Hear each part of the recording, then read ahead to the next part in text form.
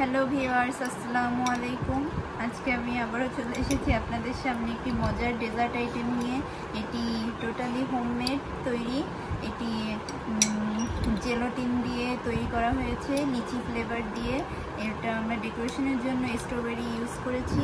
দেখতেই পাচ্ছেন এটা কতটা স্বচ্ছ, কতটা গ্লাস গ্লাসি হয়েছে। এটা খেতেও খুব মজা।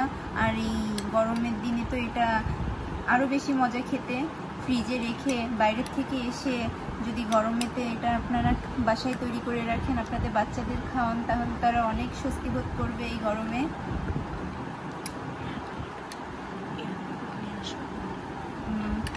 এটা খুবই মজার একটি জিনিস। আপনারা সবাই এটা বাসায় তৈরি করবেন, আপনাদের বাচ্চাদের জন্য। এটা সব বয়সীর মানুষদেরই খেতে ভালো লাগে। খুবই সুস্বাদু একটি জিনিস এটা।